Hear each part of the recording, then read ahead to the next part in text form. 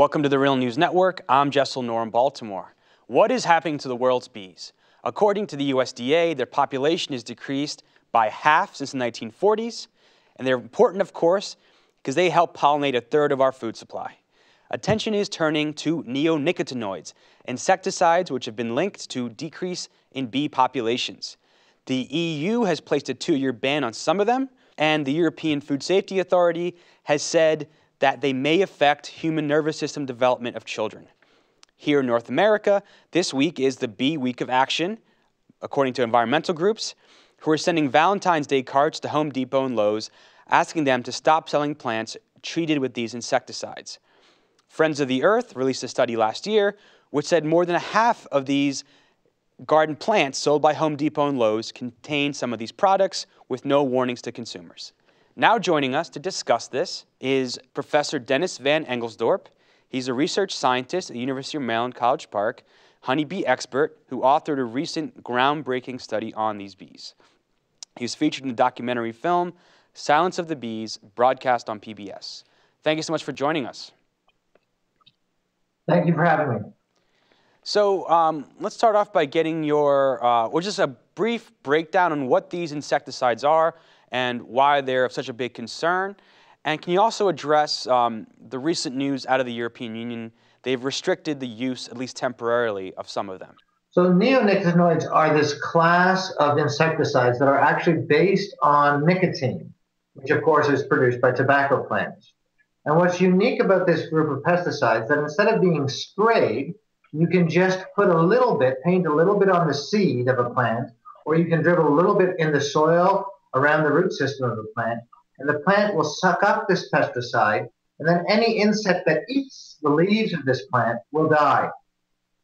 So these pesticides were developed in order to reduce how many pesticides we have to use, because you only need a tiny little bit in order to control insect populations on crops. Now, plants naturally produce a lot of different toxins to insects that eat them.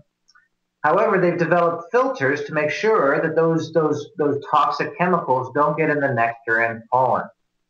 However, neonicotinoids at very low levels can get into the, to the nectar and pollen of treated plants.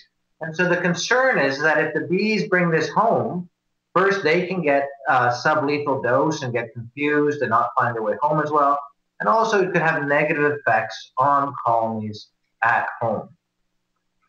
Um, again, I want to emphasize though that these this class of insecticides were developed in order to help reduce the number of beneficial insects killed um, accidentally by other pesticides, which can be much more harmful to bees than neonics.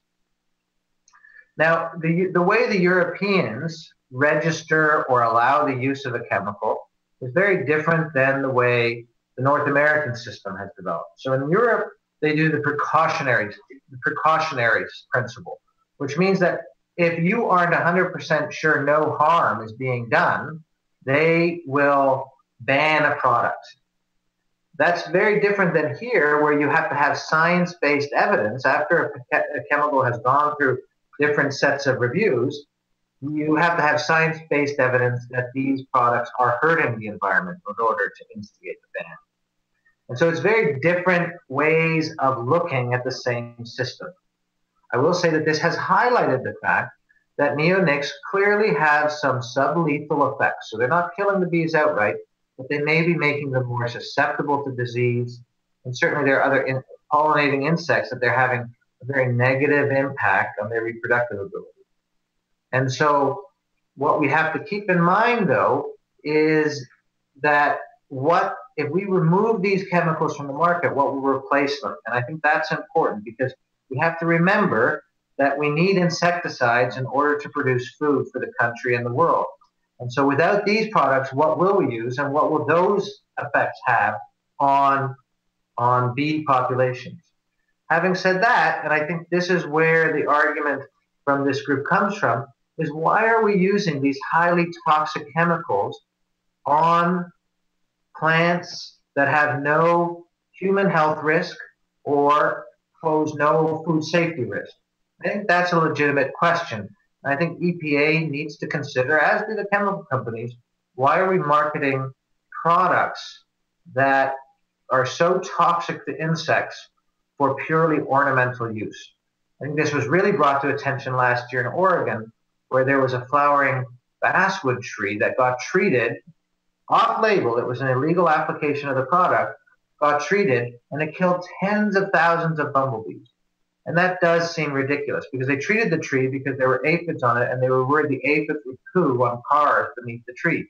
Well, I mean, all the people had to do was wash their car. And so, why would we be using insecticides that could kill so many thousands of bees is a really good question. Having, having said that, I think that banning it outright uh, for all agricultural uses may be a little short sighted because it may have some indirect or unanticipated consequences.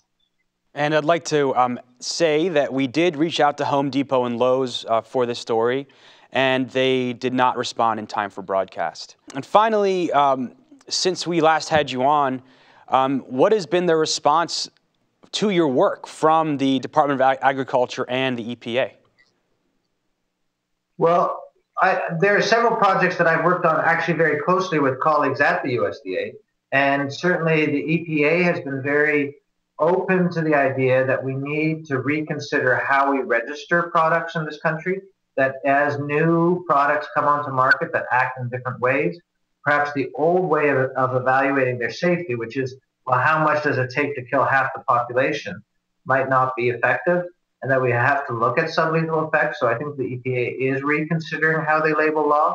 I think that they are putting more stringent pollinator warnings on on products. Um, I also want to emphasize that the most recent work we've done is suggesting that neonicotinoids, if you look at how much neonicotinoids we find in bee pollen, it's only about 2% of samples. The vast majority, or a great majority of products or pollen, has fungicides in it. And we've also found evidence that fungicides may also have sublethal effects on bee health. And so I sometimes worry that all this attention on neonicotinoids may be distracting from the fact that we have a lot of other products that may be harming bees in ways that we've never reconsidered. And so I think that more broadly, we have to look at why are we using insecticides and pesticides in general, including fungicides and herbicides? Why are we using them, and do we need to use them, and can we use them more smartly?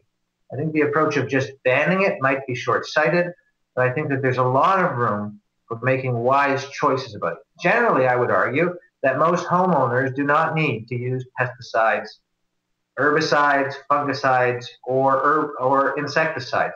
I mean, why do we need the perfectly green lawn with no dandelions? Um, dandelions are an exciting addition to your lawn. It makes it prettier and it's pollinator friendly. It helps bees out. And so I think we have to also, as a society, reconsider what our priorities are and redefine what is beautiful. This, this idea of the perfectly green mowed lawn is archaic. It's based on colonial times. And it's time as a society we grow out of that view. Thank you so much for joining us. Thank you for having me. You can follow us at The Real News on Twitter. Tweet me questions and comments at Jaisal Noor. Thank you so much for joining us.